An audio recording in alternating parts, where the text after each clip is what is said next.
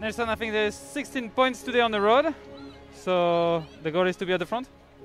We'll have to see. If it's ridden like it was uh, a few days ago, then it might be better waiting for the, the big points that are coming later. Neilson Powless is in the next group. We're Yes. seeing some moves again, Nico, some changes potentially in this classification if the race carries on like this. Le sommet de la troisième difficulté de la journée, le col de la casse froide. Il accélère Guillaume Martin, tiens. Il va aller faire les points. Et allez, Mathieu Van Der Poel au sommet du col de la Croix-Montmain. Le néerlandais qui voulait peser sur ce Tour de France.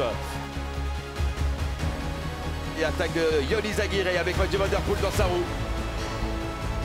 Eh, il est bien parti Eh en plus. oui. Yoli Zaguirre qui salue la foule de Belleville en Beaujolais, l'Espagnol. Victoire de Yoli Zaguirre.